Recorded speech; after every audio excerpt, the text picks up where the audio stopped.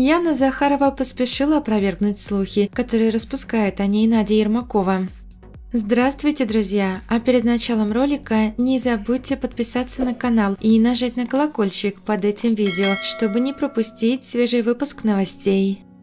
Яна Захарова и Надя Ермакова долгое время были не просто близкими подругами, но и считали друг друга едва ли не сестрами, и лишь напряженная борьба за миллион в конкурсе «Человек года» смогла разрушить теплые отношения двух топовых участниц, которых неоднократно пытались столкнуть лбами и коллектив, и ведущие. Так Ермакова упрекнула теперь уже бывшую подругу в нечестности, и хотя с момента конкурса прошел не один месяц, Надя до сих пор не упускает повода задеть Захарову.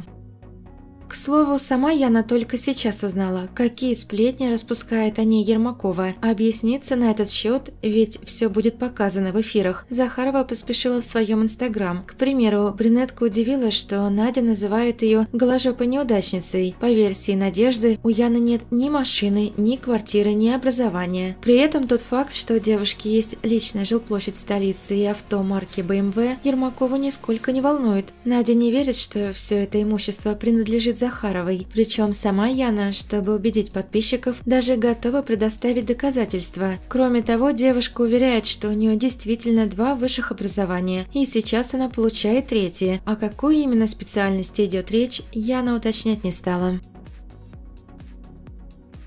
Бабушка Алена Опенченко запретила ей выходить замуж за Никиту Балыкина. Алена и Никита подали заявление в ЗАГС в рамках проектного эксперимента. Участники Дома-2 постоянно ссорятся, и Влад Кадони убедил Никиту, что в статусе мужа и жены они с Аленой смогут прийти к компромиссу и будут постепенно идти к гармонии и семейному счастью. Но бабушка Алена запретила ей выходить замуж. «Я не разрешаю, он слишком молодой, у него нет квартиры, работы и профессии. Куда он ее поведет?» Новости этой не рада», – заявила пожилая женщина Андрея Черкасову в вечернем эфире «Дома-2» 9 февраля. Сегодня уже по эфирам показали поход Алены и Никиты в ЗАГС.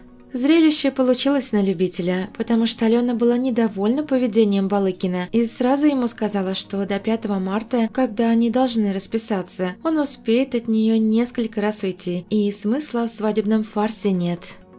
Напомню, что по условиям ведущих Дома-2 несколько пар проекта поехало в ЗАГС подавать заявление. Они самостоятельно выбирали дату росписи, а день свадебного торжества и организацию мероприятия руководство проекта взяло на себя. И у Алены с Никитой свадьба будет намного позже дня росписи, потому что Надежда Ермакова уже готовится к замужеству и хочет быть первой невестой в белом платье на телестройке в этом году. Балыки на любое представление согласен, лишь бы набрать новых подписчиков в Инстаграм. А слушается ли Опенченко бабушку? Огорчит ли самого близкого человека ради шоу? Как считаете? Напишите в комментариях. Яна Захарова отправилась в отпуск. Вернется ли обратно на проект? Участница заявила об очередных изменениях в своей жизни. Яна отправилась в отпуск на неделю. Вернется ли она на Дом-2 или продолжит встречаться за периметром со своим молодым человеком? Также Захарова планирует мамопластику и может появиться под камерами с новым бюстом и носом. Пока известно лишь то, что Захарова познакомилась с парнем во время одного из своих выездов за периметр. Сначала она говорила об уходе с проекта, затем решала, может ли ее парень прийти на проект. Потом передумала его приглашать и решила встречаться с ним за периметром. В то же время к ней на проект продолжают приходить поклонники. Один из них появился в этот понедельник. Парня зовут Влад, и его появление в периметре, а также реакцию Яны покажут в эфирах 14 февраля. В сети появились слухи, что Яна встречается за периметром с бывшим участником Дома-2 Владом Шабановым. Сейчас она утверждает, что Влад – роковое имя в ее жизни и хвастается цветами, которые ей подарил новый возлюбленный. Захарова, несмотря на правила телестройки, появляется на проекте только во время конкурсов и надеется выиграть в Сейшельских каникулах, чтобы полететь на острова. Уже известно, что на Сейшельской площадке строить отношения будут пары. Что там собирается делать одиночка Захарова? Немного ли у нее привилегий в последнее время? Если тоже так считаете, ставьте лайк. Юлия Белая спалилась на связи с Евгением Ромашовым. Пока Настя Бегрина расслабилась на отдыхе за периметром, ее предшественница не теряет времени даром. В сети не первый раз гуляют слухи о том, что Юлия Белая до сих пор неравнодушна к Ромашову. Более того, она не против вернуться к нему на проект, и Женя якобы даже уговаривала организаторов приютить Белую на шоу. К слову, сам Женя уверяет, что относится к Юле исключительно как к другу, хотя мало кто сомневается, стоит Белой зайти в периметр периметр, как у Насти не останется шансов, и, судя по всему, Юля уже перешла к активным действиям. Накануне Белую спалили на связи с Ромашовым, что оказалось неожиданностью для Насти Бигриной. Как оказалось, девушка активно следит за жизнью бывшего парня, и не только на экране телевизора. Юля не отпускает Женю, лайкает все его фото, правда пока не рискует оставлять комментарии. Очевидно, что вся переписка у парочки происходит исключительно в директе, подальше от глаз доверчивой Бигриной. Стало известно, что Надя Ермакова не позовет на свадьбу Яну Захарову и тех, кто за нее не порадуется. Все, кто сомневается в Надином счастье, не попадут на ее праздник и своими скептическими усмешками не испортят ей лучший день в жизни.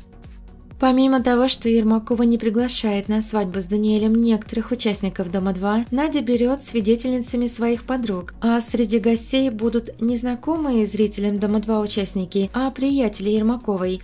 Появятся ли родители Даниэля? Большой вопрос, ведь его отец и мать до сих пор не изъявили желания пообщаться с Надей под камерами, и непонятно, как они отнеслись к новости, что Даниэль женится.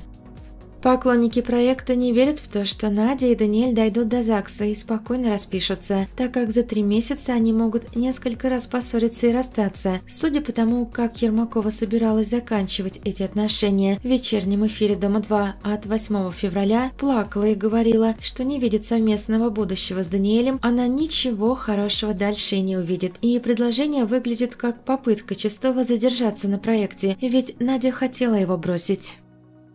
С этими отношениями, выглядящими попыткой запрыгнуть в последний вагон поезда, пусть даже если он едет не в ту сторону, участница Дома-2 выглядит крайне глупо. Поэтому Ермакова и выглядит грустной и буквально в одном шаге от очередной депрессии. Захарова торжествует и ждет хороших новостей, сидя на берегу реки. Кстати, громкая новость. Надя заявила, что сразу после свадьбы она и Даниэль Чистов покинут проект. Правильно, а то и развестись быстро могут, не так ли? У Мандезира Светомура появилась симпатия к Адриане Утиной. Хорошая новость для поклонников проекта, которые выступают против появления на Доме-2 старых участников, устроивших на поляне проходной двор. У Мандезира появилась симпатия к Утиной. По словам Виктории Фомской, Светомур проводит большую часть времени в компании Адрианы, а это значит, что надолго он на проекте не задержится. У Адрианы все симпатии, знакомства и отношения заканчиваются тем, что ее парень отправляется домой, часто по собственному желанию, что девушку нисколько не расстраивает, хотя участники уже давно называют ее черной вдовой. Но Мандезир может еще передумать, он дружит с Надей Ермаковой, и навряд ли найдутся желающие проголосовать против него на очередном голосовании на вылет, а девушку ему на кастинге найдут более подходящую, чем несерьезная Адриана. Пока Светомур развлекается, его бывшая невеста Юлия Ефременкова продолжает интриговать свою аудиторию, признаваясь, что ей сложно комментировать ситуацию, и она не хочет говорить об очередной причине размолвки. Подписчики спрашивают у Юли, почему на ее машине ездит Светомур. Она усиленно их убеждает, что такого быть не может, и они расстались. Вот это в корне неправильно, если Мандезир, к примеру, начал поднимать на нее руку, то нужно бы предупредить участниц Дома-2. Утина и так в последний раз досталась на конкурсе. Адриане разбили нос и губу, а в паре с Мандезиром она еще не то увидит. На этом все. Рекомендую посмотреть и другие интересные новости. Кликайте прямо сейчас, а также подписывайтесь на мой канал.